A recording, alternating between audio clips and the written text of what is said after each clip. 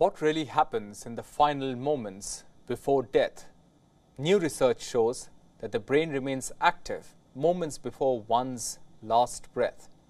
Scientists made the findings while analyzing data of patients after life support was removed.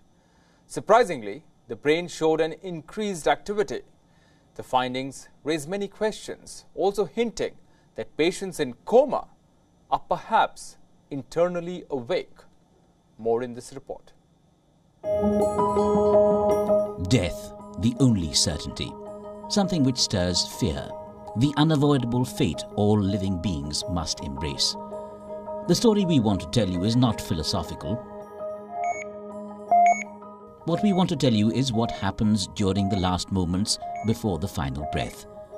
Scientists are now exploring the little known realm and have found tantalizing insights.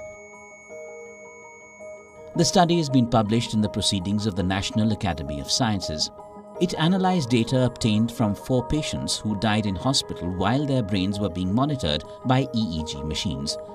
These patients had previously suffered seizures. All of them were in coma and were deemed to be beyond medical help. Life support was withdrawn after their families consented.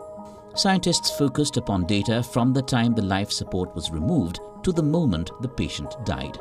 Interestingly, two of the patients had an increased heart rate after the life support was withdrawn. Also, their brains showed increased gamma wave activity. This activity is said to be associated with consciousness. This gives new insights into how the human brain operates in the final moments. Researchers noticed a surge in activity in an area of the brain associated with consciousness. This was noticed even after their hearts stopped beating. The findings could help explain why many report vivid visions during near death experiences. The findings also suggest the need to re-evaluate the role of the brain during cardiac arrest. Scientists say, however, it is not possible to accurately tell at this point what the brain activity translates into.